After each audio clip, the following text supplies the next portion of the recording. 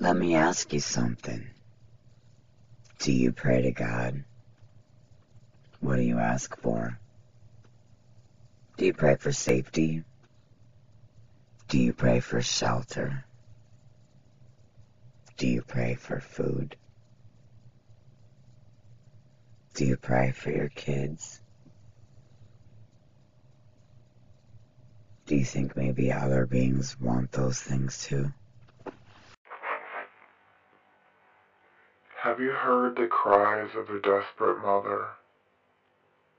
The kind where no legible words are uttered, but much is said, and much is understood. This happens with humans too. Your strict loyalty to your children is perhaps your most direct link to nature. It's one of your most primitive instincts, and yet it brings out the best in you. It can lift cars and move mountains. It's what you share with all living beings. Besides the fact that you share DNA with other Earthlings, let this be one of your first lines of connection to them, to those that you share the planet with.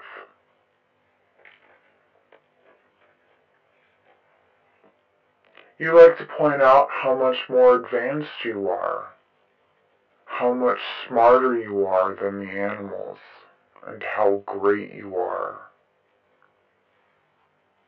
then all the greater responsibility you have to act justly. It is you that can answer the pleas, the prayers, if you will, of the other animals. You can pardon them. I pardon you. You can choose not to destroy their homes.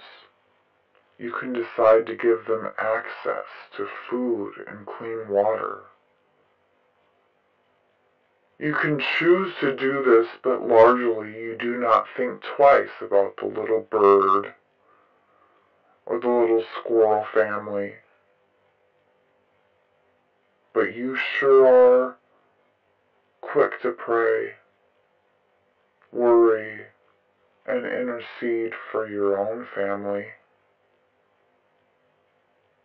On the earth, you are great.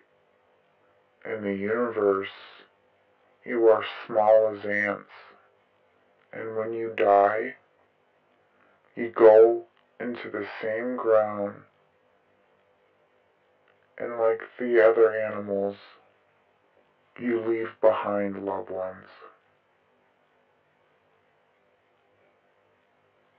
You have asked for many things and many prayers, but have you ever sought to be someone's answer?